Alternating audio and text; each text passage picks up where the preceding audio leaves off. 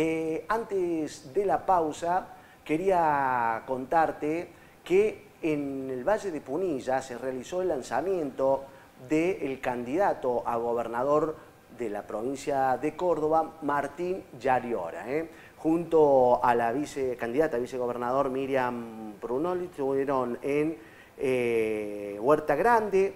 Allí se realizó este lanzamiento de campaña en el Valle de Punilla. Eh, algo importante que de alguna manera el candidato pasó justamente por Huerta Grande, donde estuvo como anfitrión el propio intendente de allí, Matías Montoto.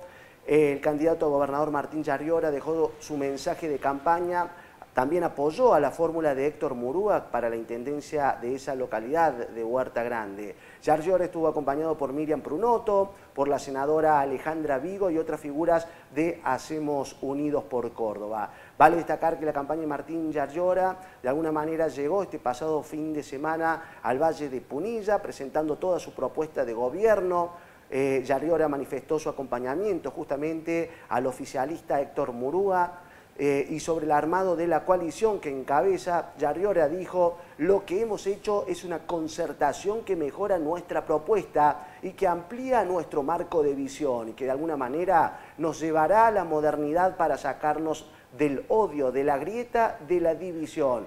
Finalmente agregó, y no es que somos más que el discurso, somos más en espacios de poder real, gestionando realmente. No es casual que la mayoría de los que se están sumando a nuestro espacio tienen experiencia de gestión, dijo el Yariora, y puso como ejemplo a la candidata a vicegobernadora Miriam Prunoto y también a Matías Montoto, ambos intendentes reelegidos y con gestiones que gozan de amplia aceptación en sus localidades. Finalmente y por último, Yarriora eh, dijo que ese acompañamiento del electorado tiene su explicación a las obras que la provincia y los municipios vienen llevando a cabo en conjunto. ¿eh?